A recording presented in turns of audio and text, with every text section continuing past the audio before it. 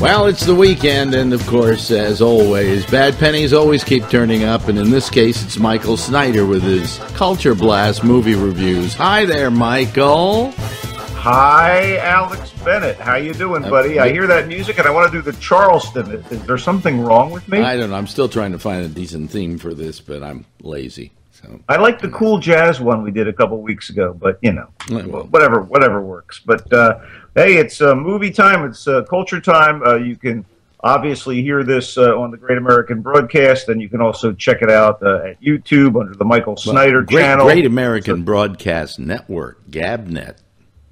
call, call it what you will. Yeah. Oh, it is your thing, so Yeah, sure. yeah, Uh, and uh, also at Michael Snyder's Culture Blast Facebook page, and Mm-hmm. follow me on Twitter at Culture Blaster. And we we've got movies. We got a blockbuster. It's so early in the year, and uh, you know some people say yesa, I say Noah.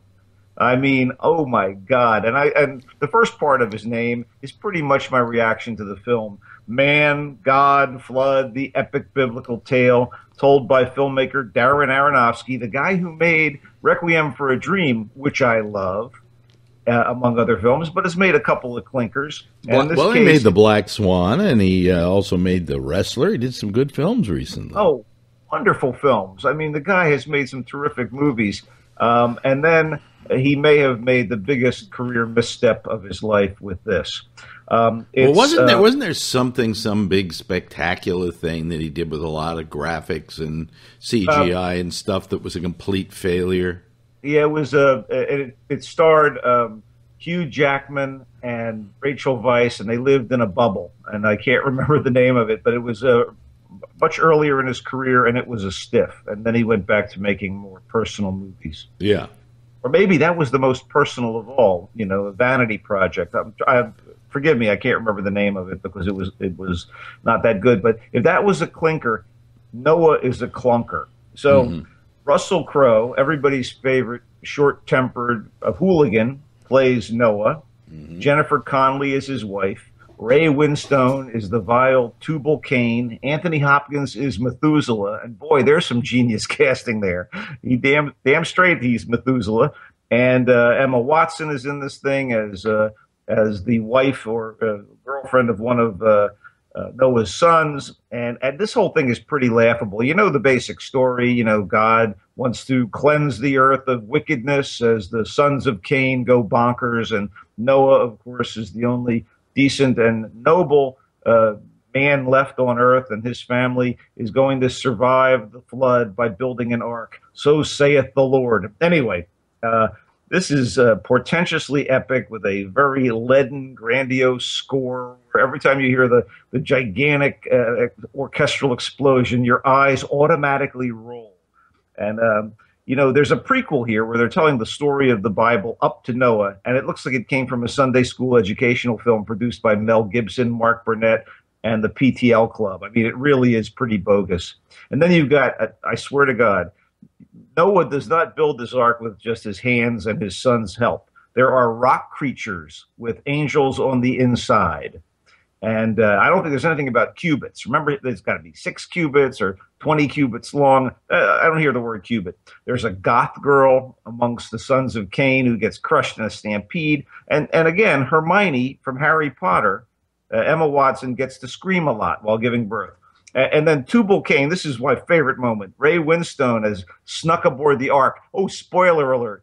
And he's hungry, so he pulls an Ozzy by biting the head off a live rat. And at the very end, there's more rainbows than the Castro, West Hollywood, and Christopher Street put together. And then outtakes from some like Disney True Life Adventure about animal husbandry. I mean, literally, my eyes were rolling throughout the entire thing. People must have thought I was playing dice. And, um, you know, uh, maybe I'm overreacting. You got uh, Noah's three sons, Moe, Larry, and Shemp. Uh, and uh, and the bad boy, actually, uh, Shem, Ham, and Japheth. And the bad boy's played by Logan Lerman, best known as Percy Jackson. This thing is just a goat rodeo. And there's, of course, two goats available, and they're on the ark. Uh, Noah, oh my God. Wow. Well, that's about as bad as I've heard you say anything is all year. Well, it's just so much money on screen, and it's just it's it's. Well, you know what? I'll tell you what. I laughed a lot. uh, and I laughed to myself because I didn't want to disturb the people uh, in the the screening, which was on one of the it was, was on the Paramount lot, the historic Paramount lot, which I love. Uh, going there is like for me going to Disneyland. So you want to be respectful, but I caramba. Okay, um, Sabotage uh, is the latest uh, movie starring the former governor of California, Arnold Schwarzenegger, mm-hmm. and the the one he did right out of the box when he got freed from Sacramento the Last Stand, directed by a Korean action director, I thought was great. I totally enjoyed it.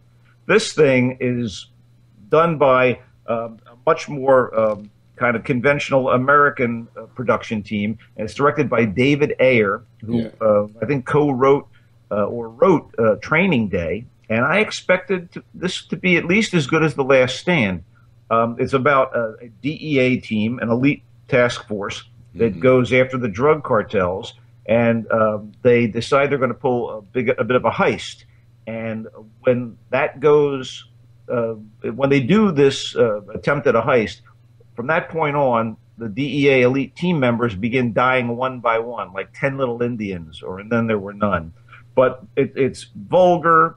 It's it's kind of ridiculous in, in some points. It's it's terribly violent, which doesn't bother me if it's to the you know the interest of, of the story and, and done in an artful way. And there are some interesting set pieces. But the problem here is this is like a Z movie with Arnie up front. His supporting cast, who actually have as much screen time generally as he does, includes some of my favorite actors: Terrence Howard, Josh Holloway, Joe Manganiello, the great Mireille Enos from um, The Killing on AMC, Olivia Williams, Harold Perrineau, and Sam Worthington from Avatar. They're all members of the team, and they're all playing thuggish.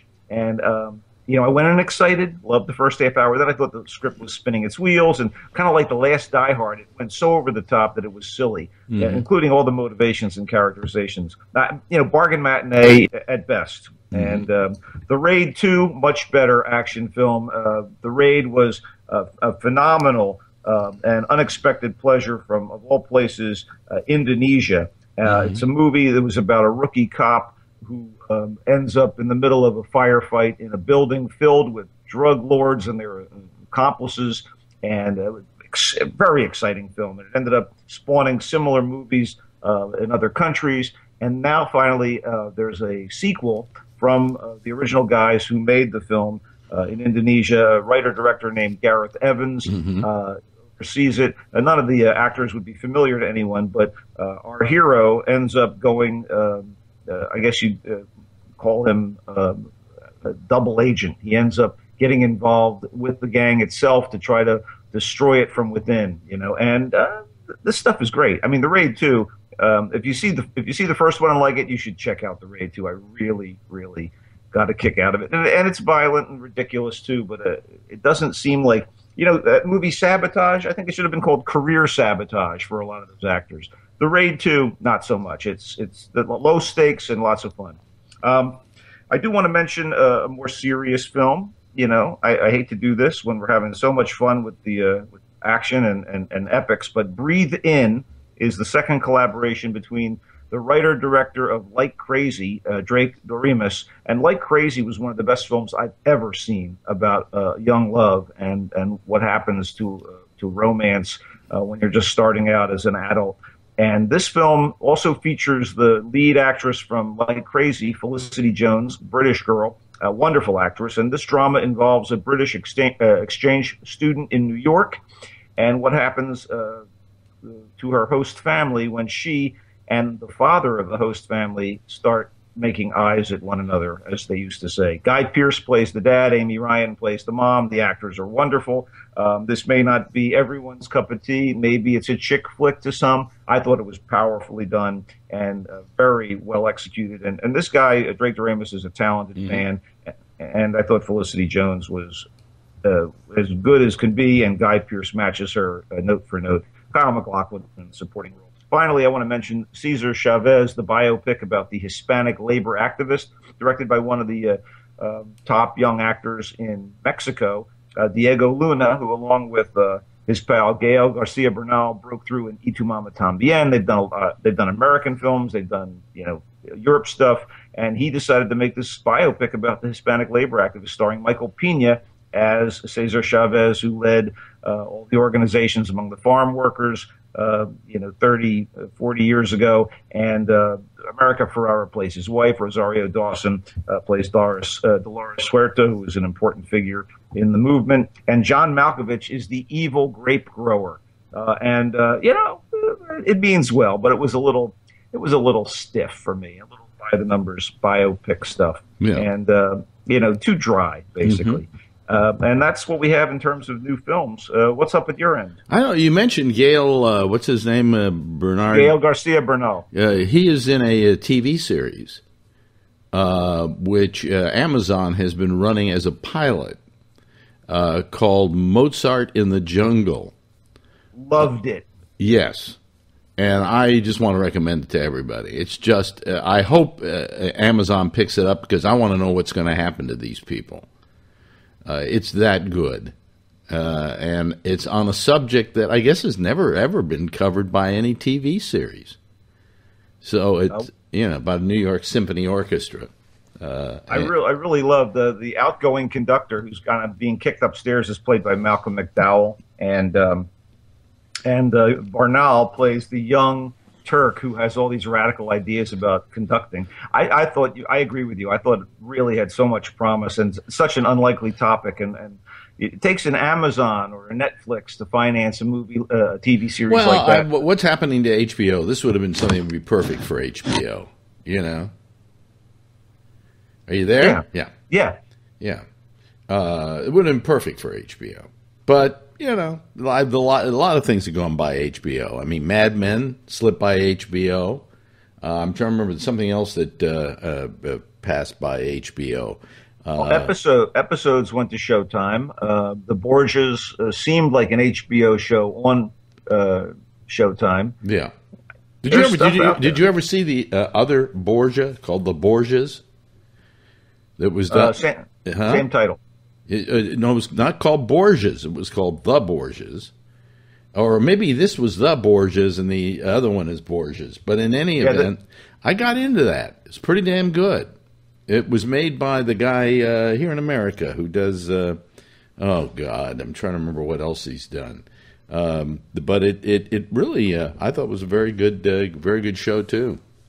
But well, the, Jer- Jeremy yeah. Irons thing was a guilty pleasure. There was yeah. scenery chewing and wild sex and violence, and you know, I, I, I love. I don't know if we mentioned this either, but Ripper Street fans are going to be more Ripper Streets. Uh, that uh, it's been picked up by, God, I'm trying to remember who. Uh, somebody like uh, Amazon or Netflix, but it wasn't Netflix, and they're going to do more of them. Oh, it was, it was Starz, I think. and it's going to be in conjunction with the BBC as well. Yeah, yeah. So and uh, uh, hey, look, um, I'm holding my breath till Orphan Black comes back to be. You know, I I watched the first like five episodes. That I think bored the living crap out of me. Loved it. Totally got into it. Yeah. That, that, girl Tatiana Maslany is remarkable. But anyway, that's you know chocolate and vanilla maybe. Yeah. No, maybe it's a good taste versus bad taste. That can be. How dare you? anyway, that's that's about it at this end. Uh, Did you and, you uh, mentioned bad words last week, right? I did. I yeah. thought it was very funny. Yeah, a lot of people are saying good things about it. Anyway, hey, uh, thank you so much, Michael. Wait a minute, play a little bit of the theme. Why, why, why shouldn't we, huh?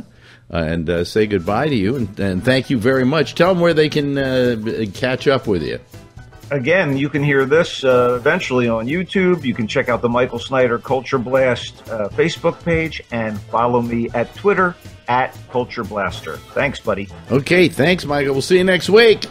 Yep.